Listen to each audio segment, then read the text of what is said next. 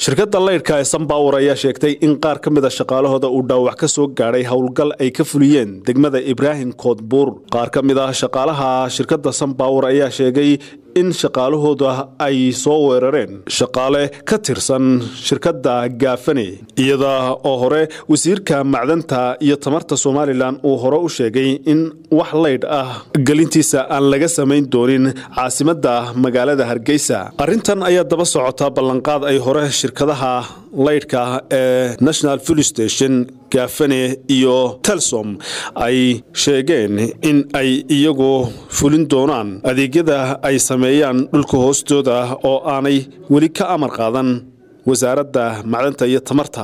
Iyagoo arrimahaasi ka hadlayana waxay yidhaahdeen shirkadda sunbower oo xalay ku jirnay ayaan waxaan la kulannay. Niman meel wax ku dejinayo.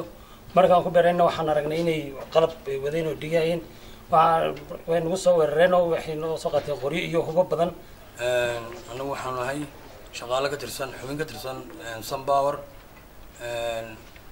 xalay tole kowdii iyo barhkii baaro labadii.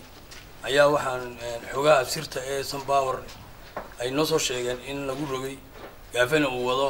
Hay kaabadaha ay taagayaan wareegto wasiirna ay hore uga soo saartay inaan wax kaabada la taagin.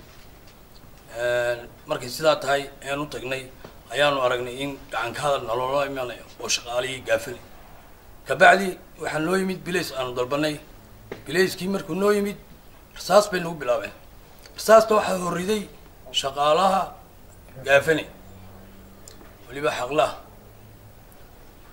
Waxa weeyaan markaa shirkadda gaafane shaqaalaha sunbower aflagaado gacan iyo qori annaga iyo bilayska anjabaad bay nagu wadaan waxa weeyaan markaa waxaan u sheegaynaa xukuumadda inay hawlaha wax ka qabato. Bilayskiina inuu soo socdo aan ogaaday ayaa waxaan ku idhi mulkiilihii shirkadda waxaanu iska kaa hortaagaynaa ana ma jirto shaqaalaanu nahay maantana adaanu ku maantana kuwanaanu u shaqayn berrinaysta iyaga adaanu kuu shaqayn doonaa runtii tii way naga aqbali waayeen shaqaalihiisii dagaal bay nagu bilaabay markaasuu bilaysku soo gaadhay bilayskii iyo iyagii ayuu ayuu dagaal ayuu maxamed xuseen jaamac star t v magaalada hargeysa